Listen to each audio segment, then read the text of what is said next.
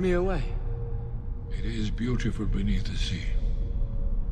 But if you stay too long, you'll drown. I wasn't drowning. I was home.